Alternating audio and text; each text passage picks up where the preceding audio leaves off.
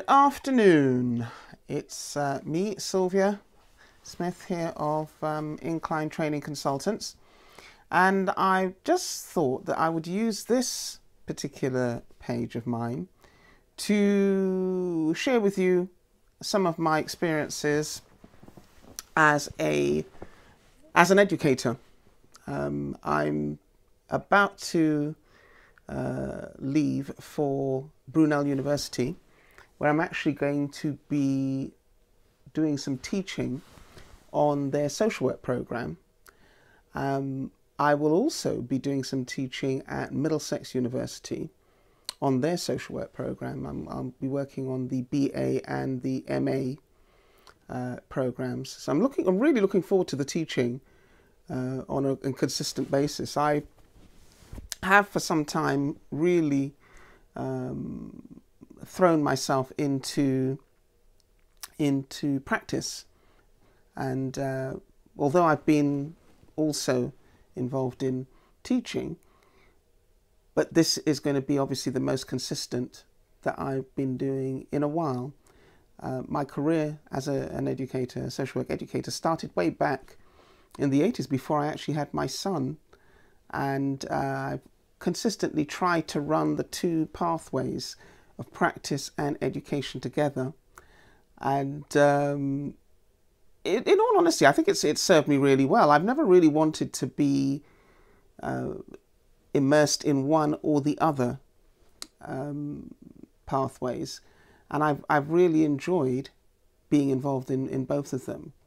Um, the other thing that's really exciting is I've got another student coming over from the States in January, and I'm actually going to be her uh, sort of practice uh, teacher or coach.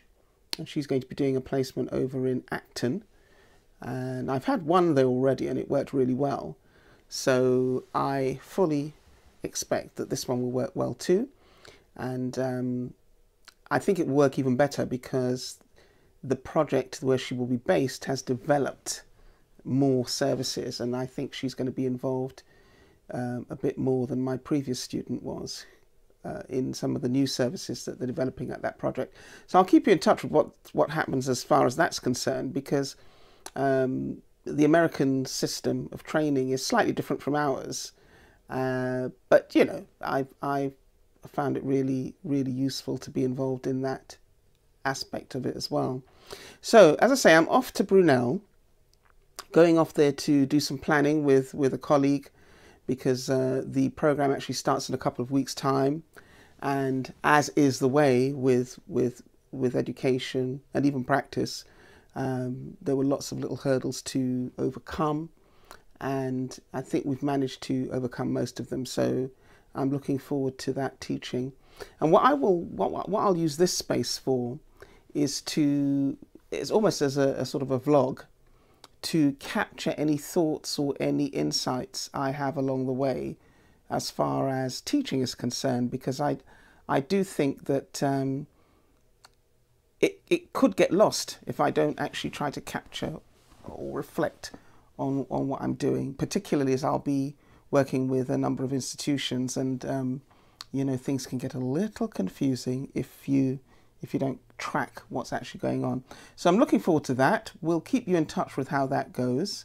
Uh, I see that um, on YouTube there tends to be a lot of um, a lot of material for newly qualified people or people who are new in the in the sort of social work space.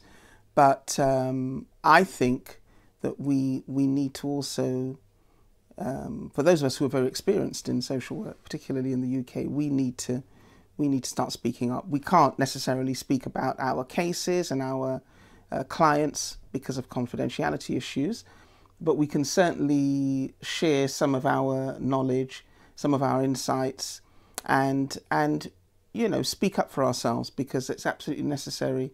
I feel, particularly as our profession gets such a difficult time um, politically and publicly.